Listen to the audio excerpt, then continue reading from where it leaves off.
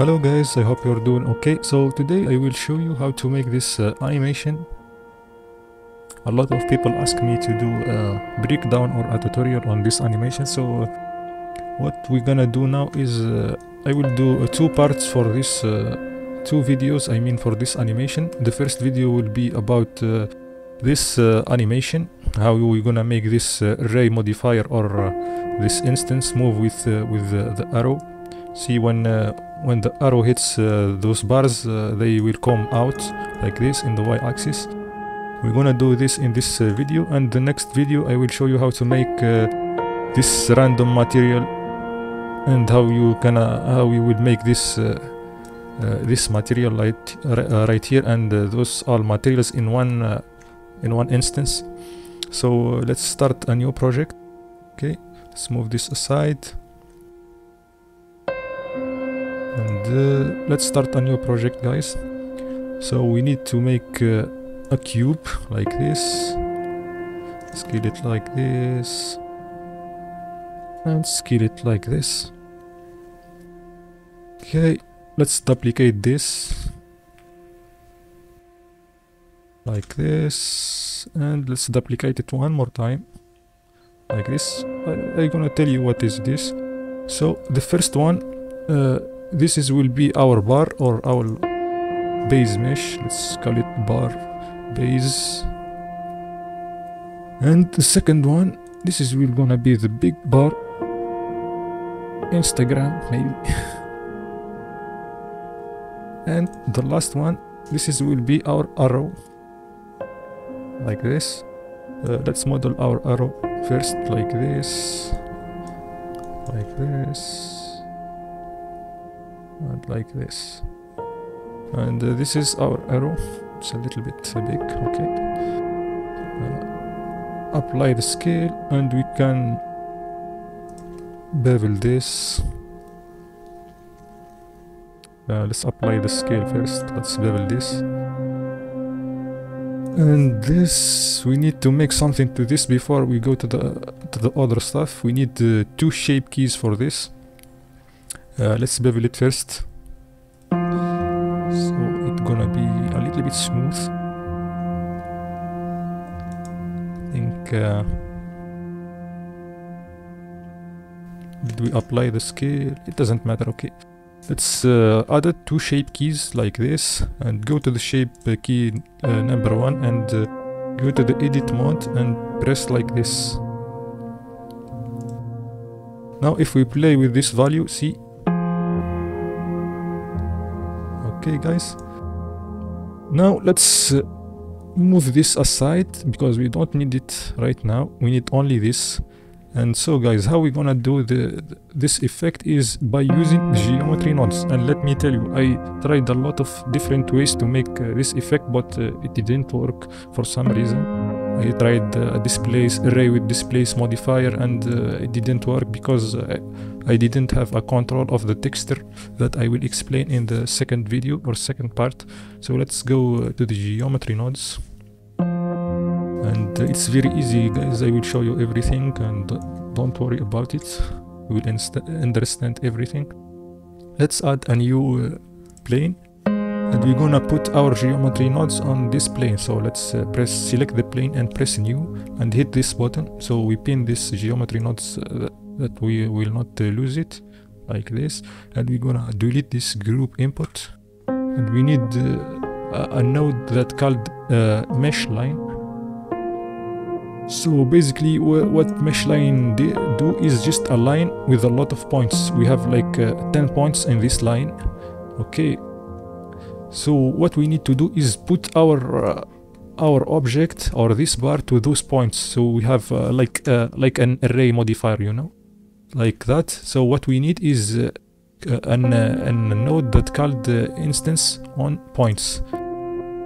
Our mesh uh, line is a lot of points so we need an instance on point uh, node. So to to now now, now we can't see anything because our instance we need an instance node to, to here to connect it here. So let's let's bring our bar base drag it right there and put and uh, connect the geometry to the instance.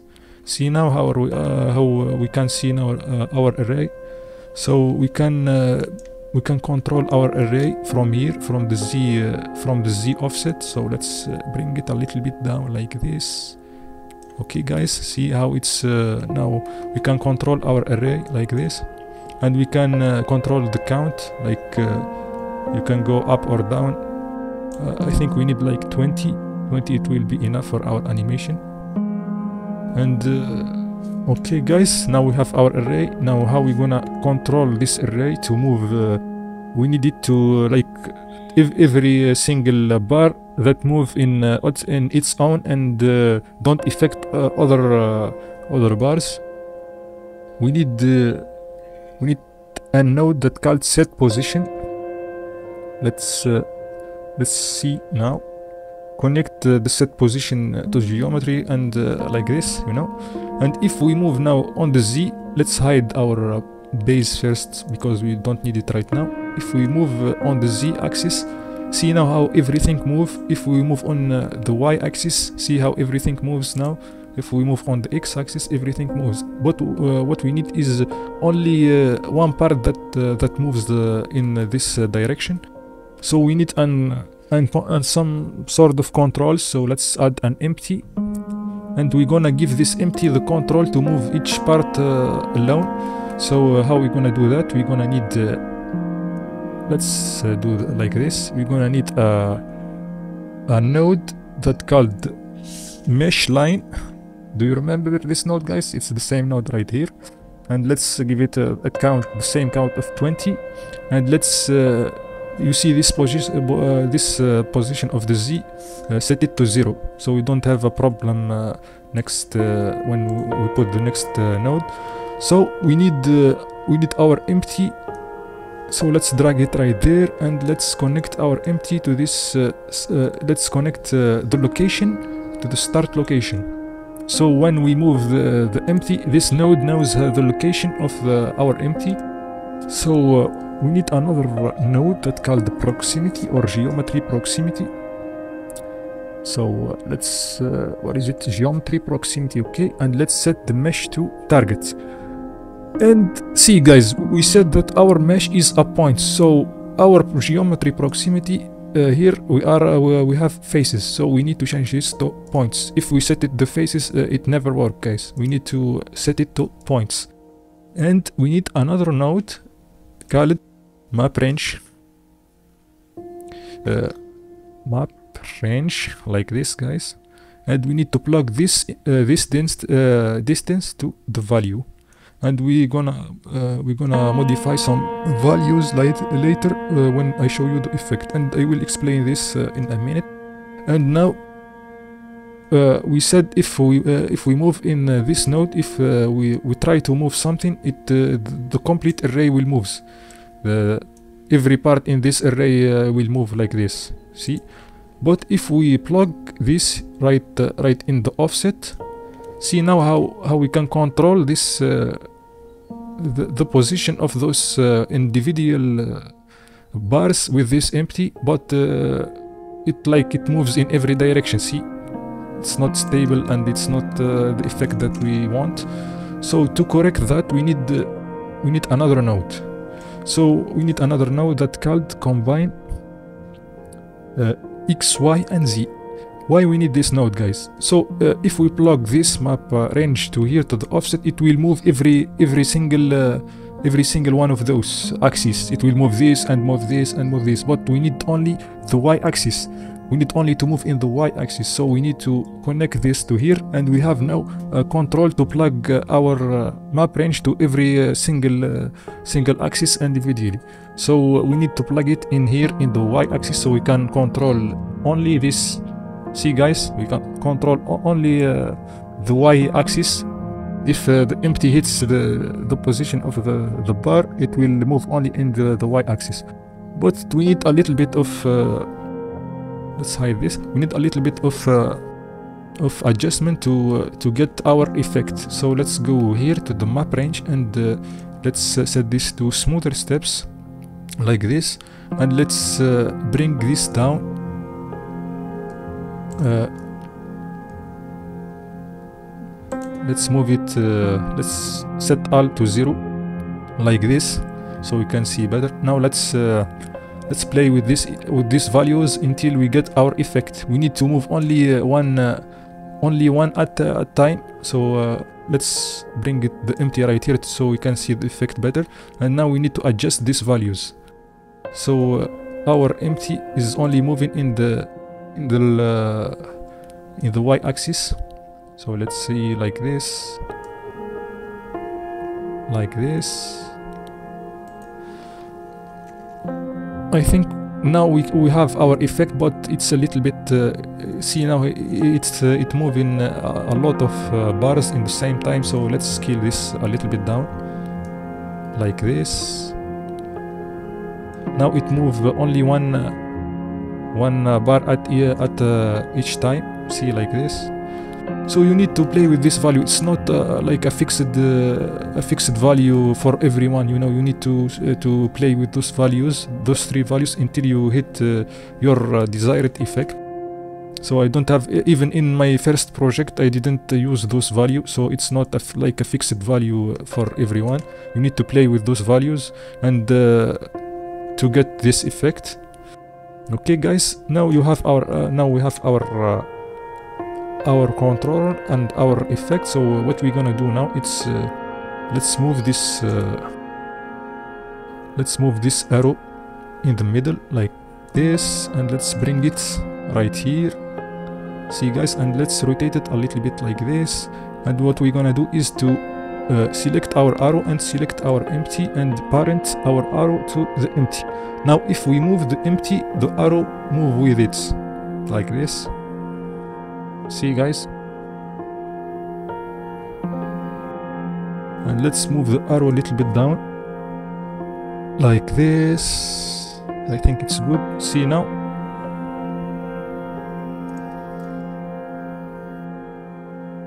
Now what we're gonna do guys it's very easy. Let's go to the animation tab. We're gonna we're gonna make our empty here. Set a keyframe right there in the y-axis and go like 20 frame and go here and set a keyframe right there and go to the 60 and go like here set keyframe there and go like in the 80 and set a keyframe right here. And let's see now. If we play our animation see how it's working right now guys. And if you want uh, like a slow uh, slow animation right here uh, you will uh, like duplicate this keyframe as like this see now. And let's put another keyframe uh, here. And duplicate it like this. And let's put another keyframe right here and duplicate it like this. And let's see right now. See how it's uh, going smooth guys it's going slow and uh, in, in the beginning it will go slow and then it will uh, be very fast. And you can adjust those keyframes uh, like you want. Let's set this like to only 100 frame or 80 frames.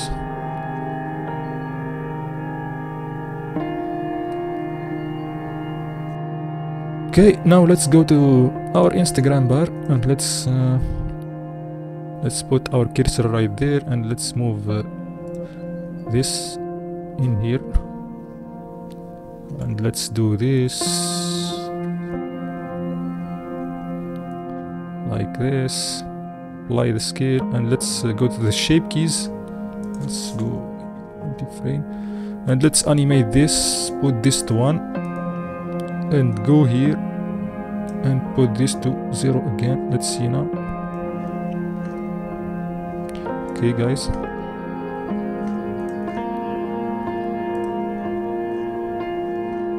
Now we have we have our effect. But the problem here see uh, this uh, we need to hide this uh, this uh, window or this bar. We need to hide it uh, in some way so we don't see it in the first time.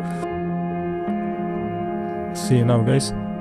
Need to hide it. So we uh, how we gonna do that? We're gonna do that by using this I think uh, a lot of people don't know about this modifier. It's called the mask modifier.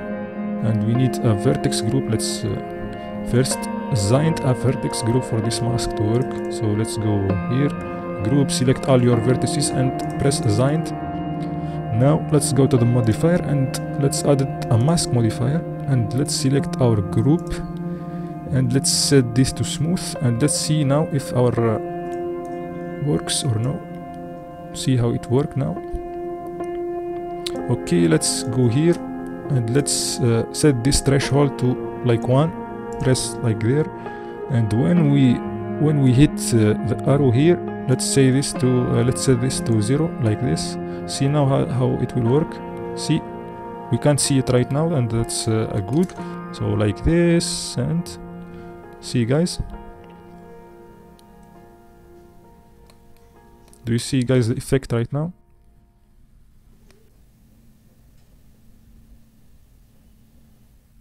Okay that's it guys. This is uh, how I made this effect and uh, there is a lot of things in the shading in the shading uh, uh part. We will discuss it and we will uh, I will show you how to uh, randomize your materials and randomize your effects like I show you in the in the video. Let me show you what I'm talking about. I will show you how to set uh, these colors and randomize this part of colors and this part of colors and this part. And I will show you how to make uh, how to make this uh, this part uh, disappear until the arrow uh, hits it. Let's see how uh, this effect. See when the arrow hits it it will uh, glow and we will see a different material or different texture for this from this. So uh, in this we have a random person but uh, in this I have my uh, logo. So I will show you this in the next video. I hope you learned something today and you know like subscribe and comment and see you guys. Thank you